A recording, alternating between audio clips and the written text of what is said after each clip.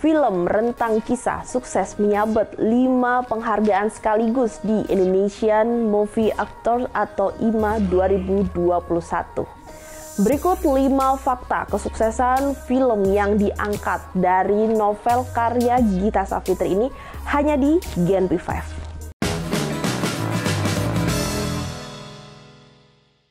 Film rentang kisah diangkat dari kisah nyata sang penulis Gita Savitri dan suaminya Paul Partohat.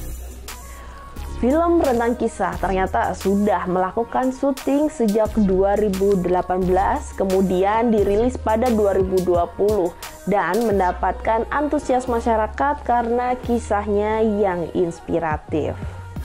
Lokasi syuting rentang kisah dilakukan di dua negara, yakni Jerman dan Indonesia. Jerman merupakan tempat Gita Savitri menimba ilmu dan proses syuting di Jerman dilakukan selama 16 sampai 20 hari.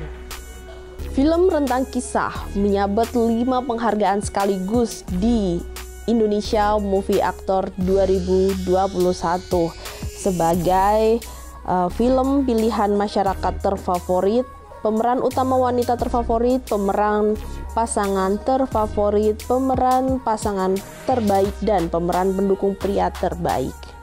Sang sutradara Daniel Rifki mengakui kemiripan Gita Savitri dengan Baby Sabina. Oleh sebab itu dirinya mantap memilih Baby Sabina untuk menjadi pemeran utama di film Rentang Kisah. Itu dia 5 fakta film rentang kisah. Jangan lupa like, komen, subscribe genpi.co dan download aplikasinya di App Store atau Play Store. Sampai jumpa.